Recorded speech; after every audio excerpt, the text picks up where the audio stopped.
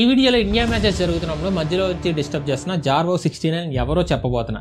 అంతేకాదు Elon Musk starling వల్ల ఒకరు చనిపోతారంట దాని గురించి చెప్పబోతున్నా.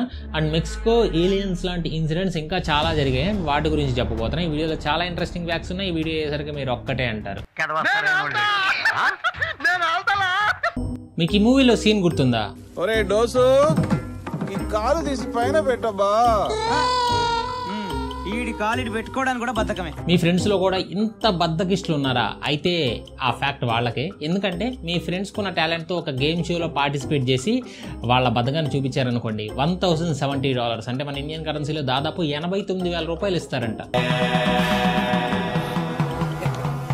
ఈ కాంటెస్ట్ పేరు యాన్యువల్ లేజెస్ట్ పర్సన్ దీన్ని యూరోప్లోనే నార్థరన్ మ్యాంటెగ్రో బెంజీ విలేజ్లో పెడతారు. దీంట్లో ఏంటంటే ఇరవై ఒక్క మంది పార్టిసిపెంట్ని తీసుకొని వాళ్ళకి ఒక బెడ్ ఇచ్చి దాని మీద పో పడుకొని ఉండమంటారు. ఆల్మోస్ట్ ఇరవై నాలుగు గంటలు అలాగే పడుకొని ఉంటారు. బెడ్ మీద నుంచి మొబైల్ ల్యాప్టాప్లు అన్నీ చూసుకోవచ్చు. కానీ లేచి నిల్చున్నా అరే లేచి కూల్చున్నా అవుట్ అంట. ఎవరు ఎక్కువసేపు ఉంటే వాళ్ళే వినరు కాకపోతే ఎవ్రీ ఎయిట్ అవర్స్కి ఒకసారి మాత్రం టెన్ మినిట్స్ టాయిలెట్ బ్రేక్ ఇస్తారు. అప్పుడు వెళ్ళాలి. అలా లాస్ట్ వరకు ఎవరుంటే వాళ్ళే విన్నర్ వాళ్ళకి one thousand seventy dollars last year నుంచి ఇస్తున్నారు. Almost one seventeen hours bed మీదే ఉండి దుబ్రవక అక్సిక్ అనే ఒక అతను గెలిచాడంట. కానీ ఈ సంవత్సరం అయితే ఆల్రెడీ ట్వంటీ సిక్స్ డేస్ అయిపోయాయి. అందులో four sixty three hours bed మీద ఉన్నారు. బట్ స్టిల్ సెవెన్ కంటెస్టెంట్స్ ఈ గేమ్లోనే ఉన్నారంట. మరి ఎప్పటికి లేస్తారో ఏంటో అర్థం కావట్లే. ఓకే కానీ దీన్ని ఆర్గనైజ్ చేసే పనిలేనోడు ఎవడు? ఈవెంట్ని ఆర్గనైజ్ చేసేది రదోన్జా అనే అతను. ఇలా చేయడానికి ఒక రీజన్ కూడా ఉంది. ఆ చుట్టుపక్కల ఏరియాలో అంట మాంటెగ్రియన్ వాళ్ళు బద్దకిస్టులు అనే పేరు ఉండేదంట. సో అది నిజం కాదు అని ప్రూవ్ చేయడానికి ఎప్పుడో పన్నెండు సంవత్సరాల క్రితం దీన్ని స్టార్ట్ చేశాడంట. కానీ ఎవ్రీ ఇయర్ ఈ బద్దకిస్టులు అని వీళ్ళు ప్రూవ్ అవుతానే ఉందన్నమాట. పావు మీ మొబైల్ ఛార్జింగ్ ఎంతసేపు వస్తుంది? మీ మొబైల్ నేమ్ అండ్ ఎంతసేపు వస్తుందో? టైం కింద ఫాస్ట్గా కామెంట్లో పెట్టేయండి. ఏం వస్తుందన్నా నైట్ రీసెట్ చేస్తే రెండు గంటలకే పడిపోద్ది. ఆ కళాకారుళ్ళే కానీ అప్రాక్స్గా ఎన్ని గంటల ఛార్జ్ వస్తే బెటర్? ఒక ఛార్జ్కి ఒక పది గంటలు వస్తే ఒక్క ఛార్జ్తో ఒక మంత్ మొబైల్ నడిస్తే ఏమైనా ప్రాబ్లమా? నిజంగానే కేంబ్రిడ్జ్ యూనివర్సిటీలో సైంటిస్టులు ఒక కొత్త రకం మైక్రో చిప్ మీద వర్క్ చేస్తున్నారు. ఈ చిప్ అయితే చాలా ఎఫిషియెంట్ అంట. ఈ చిప్ని మొబైల్లో యూస్ చేస్తే ఇయర్ మొత్తంలో ఓన్లీ ట్వెల్వ్ టైమ్స్ ఛార్జ్ చేస్తే చాలంట. పర్ఫార్మెన్స్ అంతా ఇవ్వకపోవచ్చు. సో ఇన్ కేస్ ఈ చిప్ సక్సెస్ అయితే మాత్రం మొబైల్స్లో ఒక నార్మల్ చిప్తో పాటు ఇది కూడా పెడితే నార్మల్గా మొబైల్ యూస్ చేయని టైంలో ఇది వర్క్ అవుద్దంట. యూస్ చేస్తున్నప్పుడు మెయిన్ చిప్ వర్క్ అవుద్ది. ఫైనల్గా మనకి బ్యాటరీ బ్యాకప్ అయితే చాలా పెరిగింది త్వరలో ఇలాంటి బ్యాటరీస్ కూడా వస్తాయి ఖచ్చితంగా. ఎలన్ మస్క్ స్టార్లింగ్ గురించి మీ అందరికీ తెలుసు కదా? ఏంటి మార్స్తో పాటు స్టార్స్తో కూడా లింక్ పెడతాడా? అది నువ్వు అనుకునే లింక్ కాదురా. అది యాంబర్ హెడ్ స్టార్లింక్ అంటే Elon Musk network providing company మిగతా ప్రొవైడర్స్ లాగా కేబుల్స్తో కాకుండా శాటిలైట్స్తో హై స్పీడ్ ఇంటర్నెట్ ప్రొవైడ్ చేస్తున్నారు. అయితే ఇప్పుడు ఈ ప్రాబ్లం ఏంటంటే ఎట్ ప్రెసెంట్ భూమి చుట్టూ దాదాపు four thousand six hundred Starlink satellites మన ఆర్బిట్లో తిరుగుతున్నాయి. అయితే ఆస్ట్రోఫిజిసిస్ట్ జొనాథన్ మ్యాక్డోవల్ రిపోర్ట్ ఒకటి ఇచ్చారు. అయితే ఫెడరల్ ఏవియేషన్ అడ్మినిస్ట్రేషన్ రెండు వేల ముప్పై లోపు ఎలన్ మస్క్ స్టార్లింక్ వల్ల ఒక పర్సన్ చనిపోయే ఛాన్స్ ఉందని ఒక షాకింగ్ రిపోర్ట్ రిలీజ్ చేసింది. అయితే చనిపోయేది దానివల్ల వచ్చే రేడియేషన్ వల్ల కాదు ఈ స్టార్లింగ్ శాటిలైట్స్ వచ్చి నెత్తి మీద పడడం వల్ల అంట కమింగ్ అంటే వచ్చే సంవత్సరాల్లో మొత్తం నలభై రెండు వేల స్టార్లింగ్ శాటిలైట్స్ భూమి చుట్టూ తిప్పాలని మస్క్ మామ ప్లాన్ అయితే ఈ శాటిలైట్ నుంచి తిరిగి భూమి మీద పడే మొక్కలో చాలా వరకు గాల్లోనే ఆవిరైపోయినా కూడా కానీ నెక్స్ట్ ఒక పన్నెండు సంవత్సరాల్లో twenty eight thousand hazardous fragments భూమి మీద పడే ఛాన్సెస్ ఉన్నాయని ఎఫ్ఏఏ వాళ్ళు చెప్తున్నారు. కాకపోతే దీనికి స్టార్లింగ్ వాళ్ళు అయితే ఒప్పుకోవట్ల. మా శాటిలైట్స్ అన్ని ఎర్త్ అట్మాస్ఫియర్లోకి రీఎంటర్ అయ్యేటప్పుడు ఆవిరైపోతాయని చెప్తున్నారు. ఇలా చెప్పడం అయితే బాగాలేదంటున్నారు. అండ్ ఇలా మీరు అలా అపార్థాలు చెప్పడం బాగాలేదని కూడా వాళ్ళు అంటున్నారు. సో ప్రెసెంట్ అయితే ఇద్దరు కొట్టుకుంటున్నారు. మరి నిజంగా చనిపోతారో లేదో మీరేమనుకుంటున్నారు? రెండు వేల ముప్పై ఐదులో ఎవరు చనిపోతారు అనుకుంటున్నా ఎవరు అంటారేంటి? సర్లే అది వదిలేసేయండి కానీ నిజంగా చనిపోతారా లేదా మీకు అనిపిస్తుందా? కింద కామెంట్ చేసేయండి. ఎందుకైనా మంచిది. బయటికి వెళ్ళేటప్పుడు ముందు వెనకతో పాటు పైన కూడా ఇక్కడి నుంచి చూసుకుంటా ఉండండి. ఒక దారుణమైన వీడియో వైరల్ అవుతుంది. అది ఇక్కడ చూపించలేం కాబట్టి అందులో ఏముందో చెప్తా. అందులో ఒక పర్సన్ ఇంకో పర్సన్ చెస్ట్ని కోసి లోపల ఉన్న ఆర్గాన్స్ని కోసి తింటున్నాడు. అండ్ ఆ వీడియో పైన టెక్స్ట్ చూస్తే రీసెంట్గా జరిగిన హ్యూమన్ ట్యాక్స్లో లో ఇజ్రాయెల్ వాళ్ళని ఇలా చంపేస్తున్నారు అని చెప్పుంది. కాకపోతే ఇది ఒక ఫేక్ వీడియో ఈ video twenty twenty August twenty ఫోర్న జరిగిన ఒక ఇన్సిడెంట్కి సంబంధించిన వీడియో ఈ video మెక్సికోలోని Jalisco new generation cartel and టెప్లా క్యాటెక్ cartel అనే ఒక రెండు డ్రగ్ డీలింగ్స్ గ్యాంగ్ మధ్యలో గొడవ. ఒక గ్యాంగ్ అతను ఇంకో గ్యాంగ్ అతను ఇలా చేశారు దానికి ఇలా ఫేక్ న్యూస్ స్ప్రెడ్ చేస్తున్నారు. అయితే ఇలా చేయలేదు. కరెక్టే మరి అసలు ఆ హమాస్కి ఇజ్రాయెల్కి గొడవలు ఎందుకని ఆల్రెడీ మన ఛానల్లో విఆర్ రాజా అయితే వీడియో చేసాం దాన్ని కావాలంటే మీరు చెక్ చేసుకోవచ్చు అసలు వాళ్ళ గొడవలు ఏంటో అని. బ్రిటిష్ మ్యూజియంలో ఏముంటాయి? మన దగ్గర దబ్బేసిన ఐటమ్స్ ఉంటాయి. ఇంత సిల్లీ క్వశ్చన్స్ అడుగుతారేంటి? అయితే అందులో మన ఇండియన్స్కి చాలా ఎమోషనల్ అయిన వస్తువులు అయితే చాలా ఉన్నాయి. అందులో ఒకటి మన ఛత్రపతి శివాజీ మహారాజ్ గారు యూజ్ చేసిన వాగ్నాక్ బాగ్నాక్ అని కూడా అంటారు. దీన్ని ఇంగ్లీష్లో టైగర్ క్లా అని అంటారు. ఇదేంటంటే క్లాస్ ఉండి హోల్డ్ చేయడానికి రింగ్స్ ఉండి అరచేతిలో ఫిట్ అయిపోద్ది. దీన్ని ఇండియన్ సిక్ కమ్యూనిటీతో పాటు ఛత్రపతి శివాజీ గారు కూడా యూజ్ చేశారు. అది కూడా ఒక సిగ్నిఫికెంట్ ఇన్సిడెంట్లో మీకు షార్ట్గా చెప్తా. మరాఠా టెక్స్ట్ ప్రకారం అయితే శివాజీ మహారాజ్ని మీటింగ్ కోసమని అఫ్జల్ ఖాన్ పిలుస్తాడు. అండ్ పిలిచి అఫ్జా అఫ్జల్ ఖాన్ ఏమో ఒక వెయ్యి మంది సెక్యూరిటీతో ఉంటే శివాజీ మహారాజ్ ఇద్దరితోనే వెళ్తారు. అక్కడికి వెళ్ళాక విజ్పూరి కింగ్ ఆదిల్ షా కింద పనిచేయమని కౌగులించుకోనికి వచ్చినట్టు అడుగుతూ అడిగి శివాజీ మహారాజ్ని పడవడానికి చూస్తారు ఆల్రెడీ లోపల చైన్ మేల్ వెస్ట్ వేసుకున్న శివాజీ మహారాజ్ తప్పించుకుని ఆయన చేతికున్న ఈ బాగ్నాక్తో అఫ్జల్ ఖాన్ని చీల్ చేస్తారు. ఇంత సిగ్నిఫికెన్స్ ఉన్న ఈ వెపన్స్ యాజ్ యూజువల్ బ్రిటిష్ వాళ్ళు అయితే తస్కరించారు. అయితే ఫైనల్గా ఎన్ని సంవత్సరాల తర్వాత ఆ వెపన్ మన ఇండియాకి రాబోతుంది పర్మనెంట్గా ఎట్ ప్రజెంట్ లండన్లో ఉన్న విక్టోరియా అండ్ ఆల్బర్ట్ మ్యూజియంలో ఉన్న ఈ వెపన్స్ వాళ్ళ దగ్గర నుంచి చాలా డిస్కషన్స్ అయిన తర్వాత state cultural affairs minister Sudhir Mungantiwar ఫైనల్గా memorandum of understanding MOE agreement చేసుకుని ఫైనల్గా ఇండియాకి తీసుకురాబోతున్నారు. అది కూడా మోస్ట్లీ కుదిరితే అఫ్జల్ ఖాన్ని చెప్పిన టెన్త్ నవంబర్కే వచ్చేలా ప్లాన్ చేస్తున్నారంట. అండ్ ఇట్స్ రియల్లీ అమేజింగ్ చెప్పి చాలా రోజులైంది. రీసెంట్గా మెక్సికన్ ఏలియన్స్ గురించి చాలా ఎక్కువగా వైరల్ అవుతుంది. అందరినీ పప్పాలు చేశాడు ఆడు గురించి ఇప్పుడు ఎందుకు? ఎందుకంటే ఏలియన్స్ ఎవరు దొరికాయని మనుషుల్ని ఇలా పప్పాలు చేసిన ఇన్సిడెంట్ ఇది ఒక్కటే కాదు కాబట్టి. ఏంటి బ్రో నేను ఇంకా ఇదే ఫస్ట్ టైం అనుకున్నాగా? కాదు. ఆల్రెడీ పాస్ట్లో ఇలాగే ఎక్స్ట్రా టెరిస్ట్రియల్ బీయింగ్స్ బాడీస్ దొరికాయని చెప్పారు. ఇందులో ఎక్కువ మందిని పప్పలు చేసిన ఇన్సిడెంట్ గురించి ఇప్పుడు మీకు చెప్తా. అందులో ఫస్ట్ ఇన్సిడెంట్ వచ్చేసి ఇప్పటి నుంచి ఒక ఇరవై సంవత్సరాల క్రితం సౌత్ అమెరికాలో చిలీలో దొరికిందని చెప్పిన బాడీ ఈ బాడీ ఓన్లీ చూడడానికి ఓన్లీ సిక్స్ ఇంచెస్ ఉంది. యూజువల్గా మనుషులకి ఈచ్ సైడ్ ట్వెల్వ్ రిప్స్ ఉంటే ఈ స్కెల్టానికి మాత్రం ఈచ్ సైడ్ టెన్ రిప్సే ఉండి మెయిన్గా దీని హెడ్ కోన్ షేప్లో ఉండడం చూసి అందరూ దీన్ని ఏలియన్ ఏలియన్ ఏలియన్ అని స్టార్ట్ చేశారు. ఈ నేమ్లో ఉన్నతల్లానే ఉన్నాడేంటి? నాకు తెలియదు అయ్యా ఏదో సింక్ అయిందని పెట్టేసా. ఇంకో కో ఇన్సిడెంట్ ఏంటో తెలుసా? ఈ మూవీ పేరు ఏలియన్ పేరు ఒకటే అంట ఏటీఏ అయితే దీన్ని University of California San Francisco Stanford University వాళ్ళు జెనెటిక్ టెస్ట్ చేస్తే తెలిసింది ఏంటంటే ఇది ఏలియన్ కాదు. ఒక నలభై ఐదు సంవత్సరాల బ్యాక్ చనిపోయిన ఒక ఫిమేల్ చైల్డ్ ఆర్ ఫీటస్ అని అండ్ ఈ హెడ్ ఇలా షేప్ రావడానికి జెనెటిక్ మ్యూటేషన్స్ అవ్వడానికి ఛాన్స్ ఉందన్నారు. నెక్స్ట్ సెకండ్ టైం ఫ్రిడ్జ్లో ఎక్స్ట్రా టెరిస్టియల్ ఉంది అని ఒక బాబోయ్ అని ఒక రూమర్స్ వచ్చాయి. అండ్ దానికి సంబంధించిన ఇమేజెస్ ఇది. రెండు వేల పదకొండులో వైరల్ అయింది. రెండు వేల తొమ్మిదిలో మార్టా యోగ్రోవానా అనే ఆవిడ రెండు వేల తొమ్మిదిలో ఒక యూఎఫ్ఓ క్రాష్ ఆమె దగ్గరలో జరిగితే అక్కడ సైడ్కి వెళ్ళిందంట. అక్కడ ఆమెకి ఒక బర్నింగ్ మెటల్ కనిపించింది.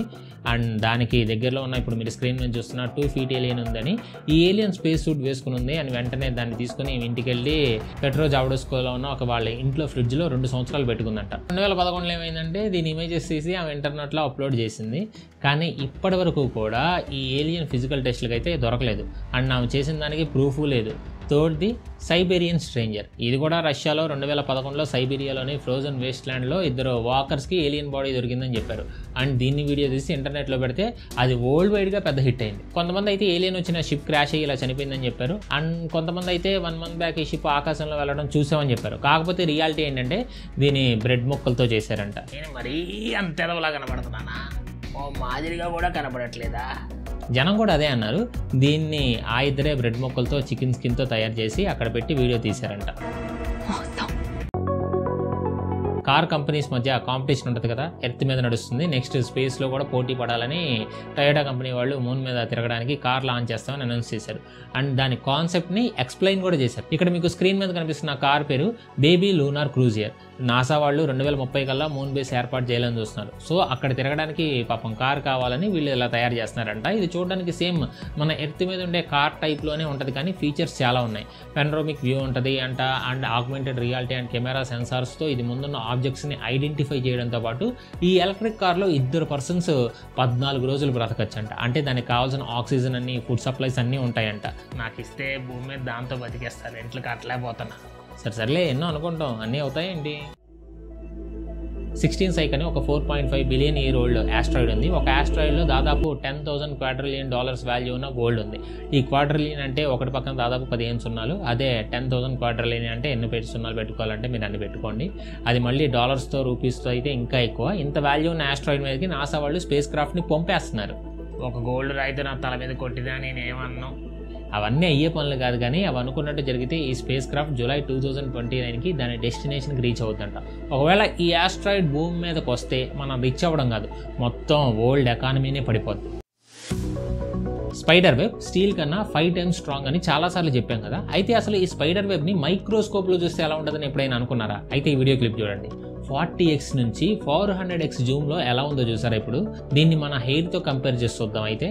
చూడండి కంపేర్ చేసినప్పుడు ఇది ఎంత పెద్దగా ఉందో సైజులో. హ్యూమన్ హెయిర్ చాలా చాలా పెద్దగా ఉంది. స్పైడర్ వెబ్తో కంపేర్ చేసినప్పుడు.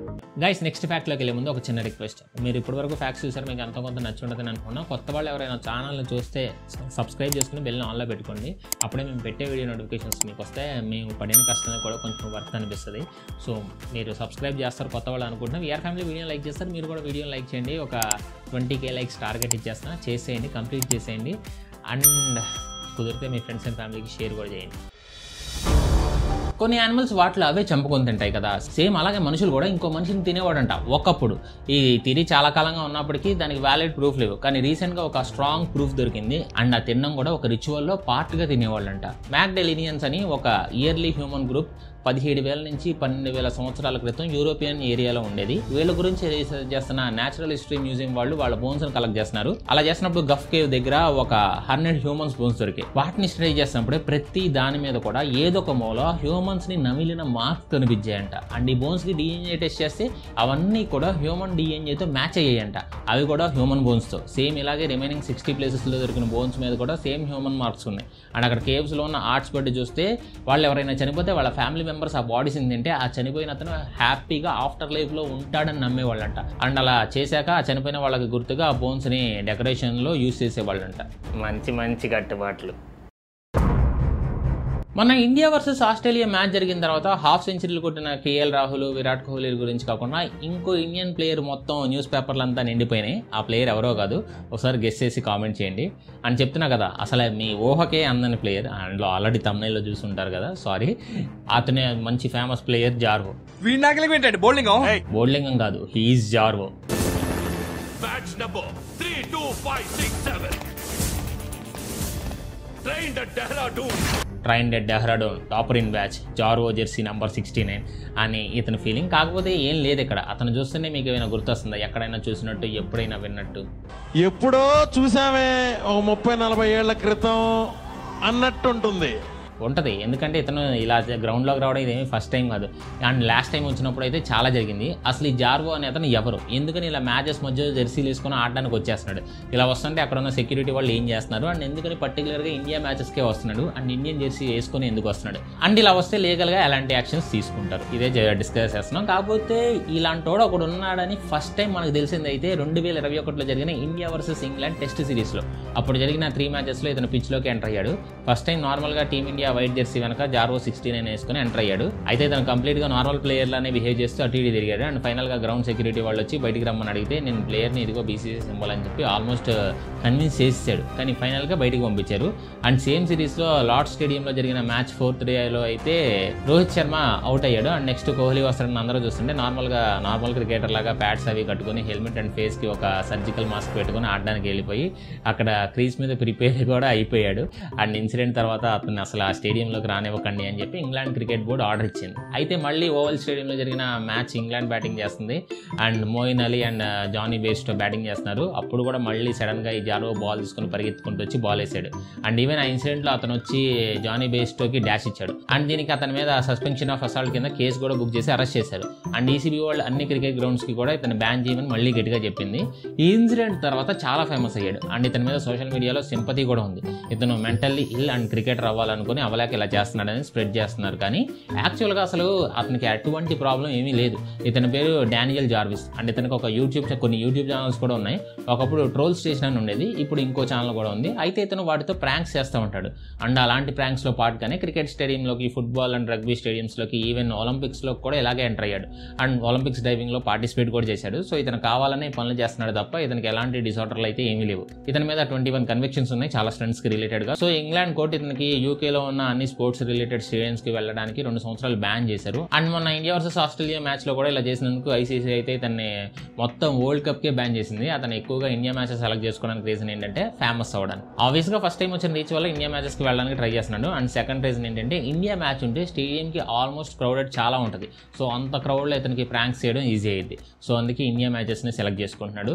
సో ఇతను జస్ట్ ఫేమస్ అవ్వడానికి దీన్ని యూస్ చేసుకుంటున్నాడు. అయితే ప్రతి సిచ్యువేషన్లో కూడా రెండు సైడ్స్ ఉంటాయి కదా. ఇప్పుడు ఇతని వర్షన్ కూడా చూద్దాం.